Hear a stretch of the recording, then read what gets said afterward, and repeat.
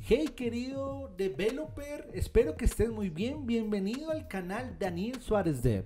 Así que este 2021 quiero que esté cargado de fuerza, energía, eh, metas, con mucha esperanza, porque vamos a seguir avanzando.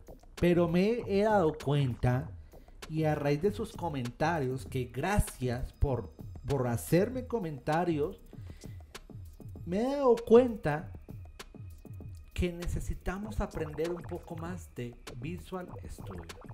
Así que déjame un momento, yo voy aquí a mostrar bien mi Visual Studio. Voy a decirle qué es lo que tengo, pero qué es Visual Studio.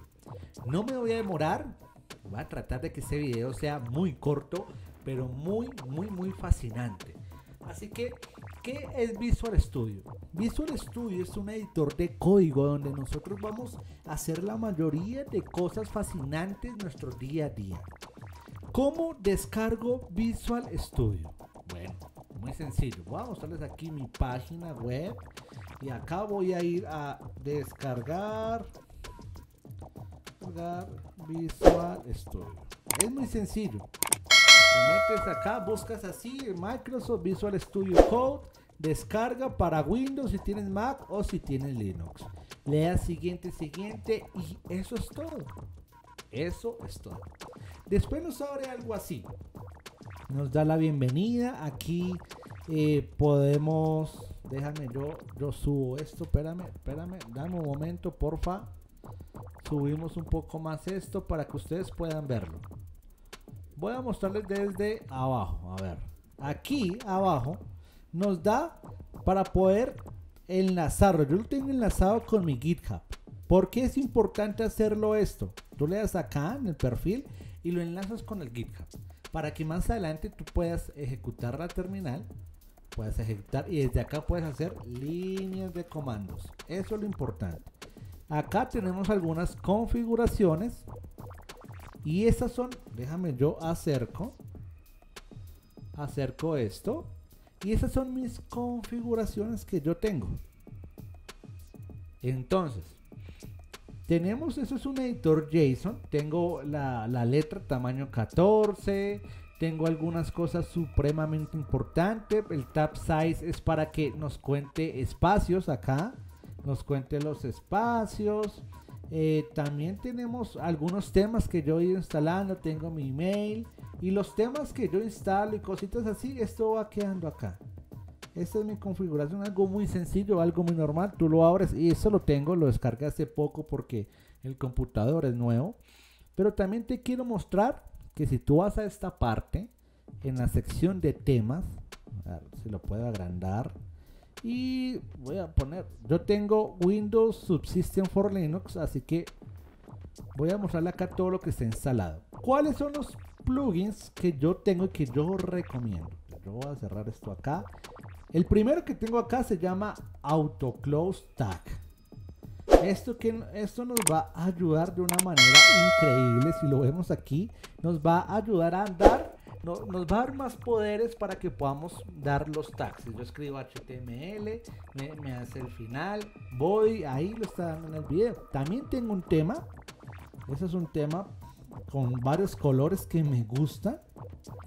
Eh, si lo quieren instalar, me estaban preguntando. También tengo otro tema que se llama Bracket Fire Colorize que esto es para el JavaScript. Nos da unos buenos colores al JavaScript. ¿Y qué es lo importante? Eso es lo que me gusta de JavaScript. Que me marca con colores vivos. Acá lo podemos ver. Con colores vivos nuestro JavaScript. Es más de, de, de, de gustos. Acá tenemos Material Icons. Para las carpetas. Carpetas que creamos acá. Esto nos va a ir poniendo el icono a mí me gusta mucho manejar por icono. Tema que tengo actualmente.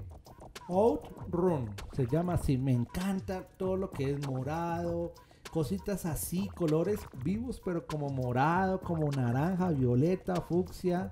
Eh, acá tengo, bueno, esto es algo para el Windows Subsystem for Linux. Tengo otro tema, Visual Code Icons. También acá tú lo puedes ver. Y también te marca las carpetas.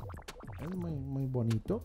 También tengo Babel Babel JavaScript para que todo código nuevo de, de JavaScript me lo pueda renderizar para eh, navegadores nuevos. También tengo algo llamado Code Runner. ¿Qué hace esto? Esto es un plugin muy, muy, muy, muy, muy bonito, muy importante. Pero es cuando tú ya vas avanzando, si tú quieres ejecutar código ahí mismo en el Visual Studio Code, lo puede hacer. Acá podemos ver el video que uno selecciona, le da clic derecho y lo ejecuta. Esto es lo que hace. Code Stream esto es algo muy importante, lo estoy estudiando, lo estoy, eh, me estoy empapando porque esto ha sido el boom últimamente y esto es que nos agiliza todo lo que tiene que ver con GitHub, eh, algunas tareas, incluso creo que se puede también conectar con Slack, se puede conectar con varias, con el correo y sin necesidad, todo aquí en nuestro code. También tengo esto que se llama Color Highlight, que cada vez que yo pongo un color me dice, me lo marca, me lo colorea. Muy bonito. Slim, no puede faltar Slim en tu Visual Studio. Esto que hace, te marca algunos errores, te lo resalta y te ayuda. Tengo también otro importante acá, Live Server, para que podamos ver, ups, me abrió esto, Live Server para que podamos ver los cambios. Nada más yo le guardar a mi Visual Studio Code y, e inmediatamente lo tengo acá. Tengo otro tema, Nebula, esos son más de gustos. Tengo Pola Code, en donde tomo pantallazos de mi código y los puedo compartir. Y otro importante, ya voy a terminar, otro importante se llama Prettier. Esto nos formatea nuestro código, los espacios, eh, los, que no están, los que están mal indexados. Si tenemos un código así todo espagueti, todo mal, esto nos va a facilitar la vida. Y para terminar, tengo Trailing Space. ¿Qué quiere decir? Nos marca en rojo los espacios que tenemos innecesario en nuestro código. Entonces nos dice, hey, tiene un código innecesario, bórralo. Yo soy muy fansa a tener todo bien, bien, bien organizadito. Esta es la primera parte de Visual Studio Code, de eh, plugins importantes que debes tener en tu code. Si quieres más videos de qué, más podemos hacer, qué podemos hacer por aquí, explorar esto, si llegamos a varios likes, varios comentarios. Y si ustedes me lo piden, seguimos haciendo más cosas, seguimos experimentando otras opciones. Solo quería hacer un video rápido dándote algunos plugins que te van a dar los poderes para que puedas empezar. Chao, chao.